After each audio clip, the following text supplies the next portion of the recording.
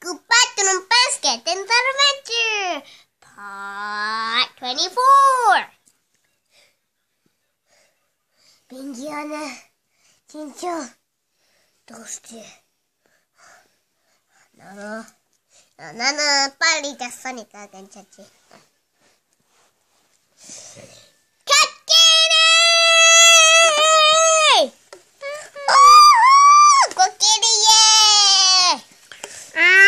아, 이제 밭이니까.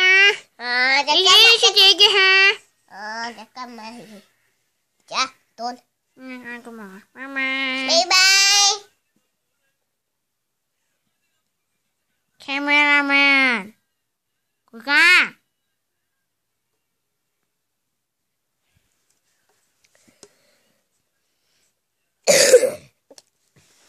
연애가 저 집에 안에 게임 그 핑ky 씨한테 얘기했는데 어, 어, 그 야야 저는 엄마 아빠 아! 와,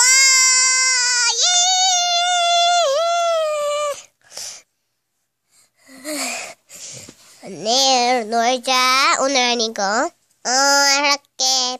빠이빠이. 자자. 그러니까. 그, 잠깐만. 핑크씨가 있겠는데 게임 안 했어?